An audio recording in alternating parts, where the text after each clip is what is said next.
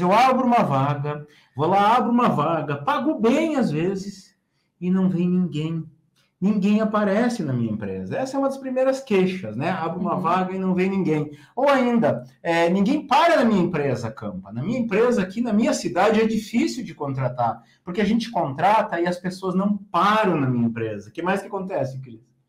Ah, eles dizem assim, ó, eu boto as pessoas, contrato as pessoas, boto para fazer e as pessoas não fazem o que tem que ser feito. Elas simplesmente não fazem, não sabem fazer nada e fazem corpo mole. É, exatamente. Ninguém quer trabalhar aqui porque é, é. chato. O trabalho é chato, o trabalho é difícil. São coisas que a gente ouve. Né? Mas assim, ó, em outras áreas, a verdade é que em outras áreas sempre tem gente para contratar. Sempre tem. Qualquer profissão, qualquer área, qualquer região. Coisas mais específicas, coisas mais complexas, às vezes realmente não tem. Às vezes não tem. Mas aquelas coisas mais comuns, as pessoas às vezes reclamam, Cris. Ah, mas não tem costureira, não tem mecânico, não tem soldador, não tem gente de chão de fábrica, não tem gente para limpeza. Pô, como não tem? Como não tem? Talvez, talvez igual empresário não tenha. É, talvez. Talvez igual empresário seja, talvez. É, fazer igual aquela pessoa ali, talvez não tenha, né? Aí é um pouquinho mais seletivo, não é? Exatamente. Nós mesmos aqui, né? Nós mesmos da Viva Positivamente, hoje a gente tem gente trabalhando para a gente no país inteiro, que não sei se sabe, mas a nossa empresa é totalmente home office. Todo mundo que trabalha na nossa equipe são 15, é, 16, eu até me perco agora. 15, né? São 15 pessoas. São 15 pessoas que trabalham com a gente, são 15 pessoas que trabalham de casa, em casa, em outros estados, em outras cidades. E tem profissões, nós temos gente que trabalha conosco, de profissões que se você me falasse há um ano, um ano e meio atrás, eu nem sabia que existiam essas profissões. Vamos e citar algumas? Tem... Copywriter. Você já conhece algum copywriter na tua cidade? Gestor de tráfego. Aí social tem media. social media. Aí tem editor. Editor de vídeo, editor de nugget. Né? Exatamente, né? editor Vamos de começar nugget. a especificar. Vamos começar a especificar. Então, assim, ó, a gente tem gente, às vezes que a gente arruma em outras cidades, cidadezinhas às vezes pequenas, e a gente arruma essas pessoas, pessoas, profissões que eu não sabia que existiam, e a gente arruma. E quais são os erros mais comuns, Campa, na hora de contratar? Na hora de contratar? Bom, uhum. é, vamos citar alguns aqui. Se a gente for listar, vamos listar todos os erros na hora de contratar, vai ser difícil, né, Cris? A gente vai ter que pedir, ó, pessoal, fica com a gente aí até 5 da manhã, talvez.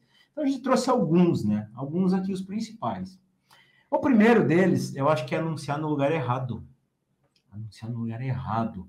Eu ouço muito, assim, alunos meus que vêm e dizem, Campa, eu botei só lá na página lá da empresa, lá no, no Instagram da empresa, no Facebook da empresa. Funciona fazer isso, Cris? Não. Por que será que não? Não, porque primeiro você está expondo para os teus clientes um é. negócio assim que não seria. O cliente não está. Cliente não, não tá interessado, né? né? Não vai se candidatar, mas é, é um negócio assim que fica meio. E, é, e aquelas pessoas que estão ali acessando o teu Face não são para ir para uma vaga de emprego a princípio, o objetivo não. daquele Face, não daquele Instagram. Isso. Não estão ali para isso. E as pessoas são poucas ali, né? Os seguidores, de repente, não sejam suficientes e o Facebook, o Instagram, não entrega para todo mundo que está ali. Não é todo mundo que vai enxergar aquela postagem lá no Instagram.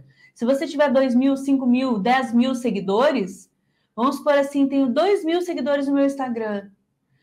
Quantos desses vão ver aquela postagem? De repente, pois 200, é. 300, no máximo. Porque e quantos deles são entrega. clientes? São gente que só está namorando a empresa ali, né? É, não está procurando emprego. Então, tá de repente, a possibilidade de aquelas pessoas que veem aquela postagem ali serem o teu candidato ideal são muito raras. Por isso que não é o melhor lugar para se Por isso colocar, que não é o melhor lugar. Né? Outra coisa, né, que eu acho também, não sei se você concorda comigo, aquelas páginas lá de. Como é que chama? Aqueles grupos que tem Face Grupo? Os Face Brick, os Face Grupo, aqueles grupos lá de emprego. O que, que você acha disso, Cris?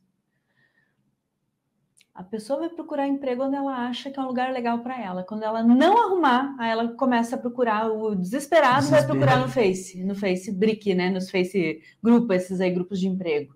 Aí é a última tentativa do, do indivíduo, é a UTI da pessoa que está procurando emprego. Então ele vai pegar qualquer coisa para ficar três, quatro dias ali até arrumar uma coisa melhor. Aí eu pergunto assim, ó, você quer contratar a pessoa desesperada para trabalhar na tua empresa? Se você quer, ali é o caminho. Né? Ali é o caminho. Mas eu acho que contratar uma pessoa desesperada, ah, mas tem gente que quer o emprego, precisa do salário. Claro, eu acho que todo mundo precisa. Todo mundo precisa, a maioria das pessoas trabalham porque precisam. Muitas pessoas unem o útil ao agradável, né? É. Trabalham porque precisam e porque amam fazer aquilo. Então, olha o que eu estou falando aqui, ó, amam fazer aquilo. É essas pessoas que você tem que pegar para tua empresa. Essas pessoas que amam fazer isso. É verdade. E a, a oferta, para ela amar aquilo, ah. para realmente ela amar aquilo que, que ela está fazendo, a oferta da empresa tem que ser atraente para ela. Porque, querendo ou não, uma oferta de emprego entre as duas partes é como um namoro. A pessoa tem que se interessar pela vaga e a empresa tem que se interessar pelo candidato, para daí conversar, começar as primeiras conversas, fazer uma amizade, amizade não é, é amizade de amigo de compadre, né? Começar assim um relacionamento para depois começar a namorar e aí quando fecha a vaga que realmente diz eu vou contratar, ali é o casamento. É um negócio que é para dar certo. É, mas você, você falou certo. um negócio que é chave, né? Poxa, proposta atraente, né? uhum. uma oferta atraente. E oferta, às vezes a gente fala em oferta atraente, tem gente que diz, ah, mas então eu tenho que pagar muito acima dos outros. Não é isso. Não é só não é. isso. É. Óbvio, salário é. é. muito importante. Salário.